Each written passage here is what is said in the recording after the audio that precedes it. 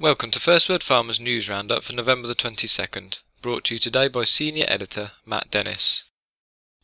In our top news story, the FDA lifted a partial clinical hold on the enrolment of new patients with head and neck cancer in studies of AstraZeneca's durvalumab.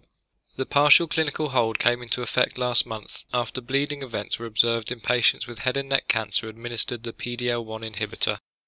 Also in the news, the FDA approved new once-daily diabetes therapies from Novo Nordisk and Sanofi that combine long-acting insulins with GLP-1 agonists. Novo Nordisk Xultophy combines the long-acting insulin Tresiba and the GLP-1 analog Victoza, while Sanofi Soliqua combines Lantus and the GLP-1 receptor agonist Lyxumia. Xultophy will be launched in the US in the first half of next year, while Soliqua is expected to be available in US retail pharmacies in January 2017. Analysts predict that Xultophy will generate annual sales of around $1.2 billion in 2021, with Soliqua forecast to reach $550 million by the same time. And finally, Shire plans to expand its operations in Cambridge, Massachusetts, establishing a rare disease innovation hub.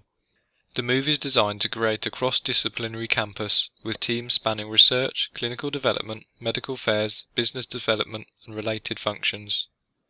To read these and other stories in full, visit firstwordpharma.com. Are you able to keep up with all the news and views in the biosimilars market? First Word's Biosimilar Index is the only dedicated biosimilar and non-comparable biologics intelligence tool available. Get ahead of your competition and learn more today.